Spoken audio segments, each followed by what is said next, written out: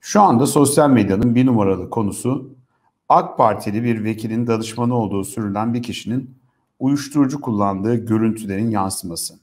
AK Parti Genel Başkan Yardımcısı Hamza Bağ'ın Dağ'ın yardımcısı olan e, bu kişinin e, Kürşat Ayvatoğlu isimli bir zat-ı muhterem var. Gördüğünüz gibi böyle bir lüks arabaları var. Lüks arabalarını satıyor. 26 yaşında herhalde bu anladığımız kadarıyla. Ve de arabasında e, mesela Porsche'si var. Bravo.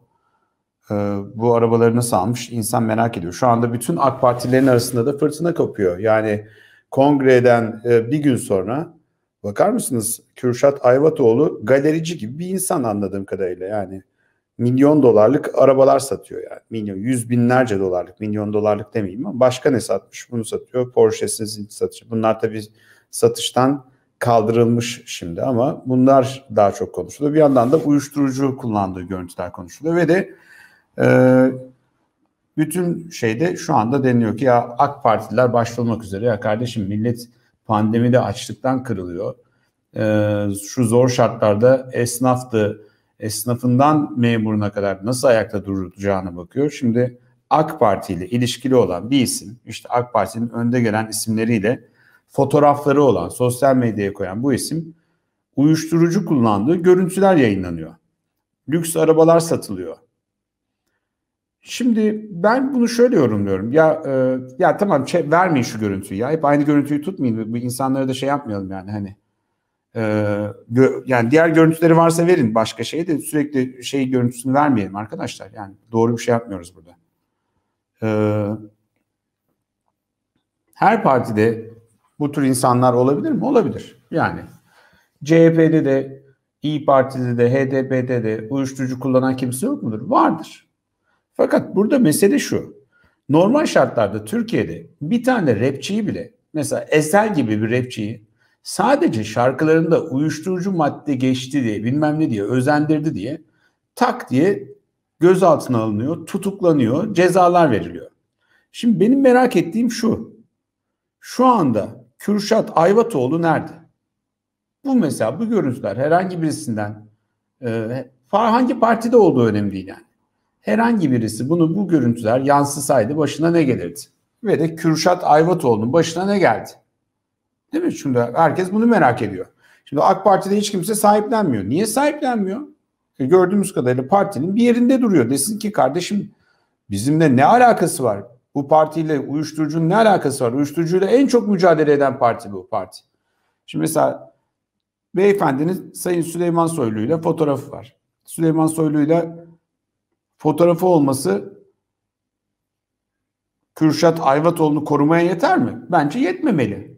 Yani çünkü ne olacak? Süleyman Soylu'nun herhalde 10 bin kişiyle fotoğrafı vardır. 100 bin kişiyle fotoğrafı vardır. Yani Süleyman Soylu'yla çünkü ben de şöyle yolda yürüyorum fotoğraf çekebilir miyiz? Çektirelim. Bir yer çekelim mi? Çekelim tabii. Kimse de hayır bir dakika sen kimsin? Ver bakayım bir şeyine bakacağız. Bir siciline bakacağız. Sen bir şey misin? Necisin falan demiyoruz yani baktığınız zaman.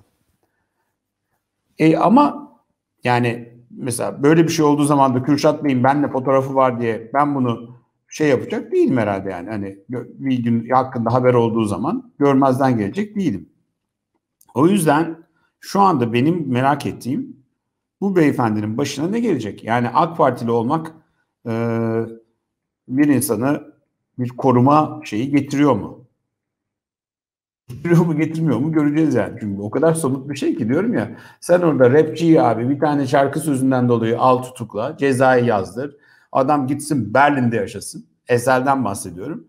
Ondan sonra bu şey olunca aa onu görmezden gelelim olur mu? Tabii diğer kısmını yani Kürşat Bey'in bu görkemli servetinin nereden geldiğini de bilmiyorum. Belki de babası zengindir.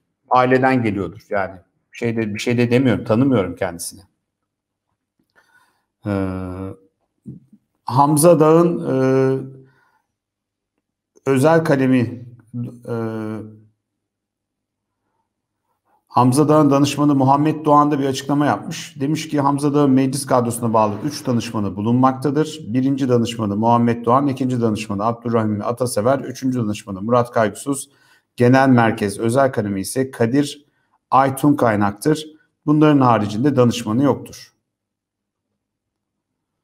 AK Parti Genel Merkezi'nde ARGE Başkanlığı'nda çalışan ekip içinde yer alan kişilerden birisi olduğu iddia ediliyor.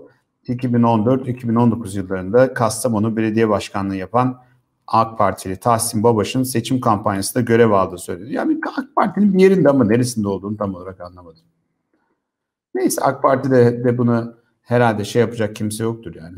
Aa dur ya bizim partiden olur mu ya? Porsche'sini sat satıyormuş adamcağız ne var bunda diyecek kişi de hiç zannetmiyorum. Birisi çıksın. İzleyelim görelim. Ve olaylar gelişecek mi? Yoksa gelişmeyecek mi?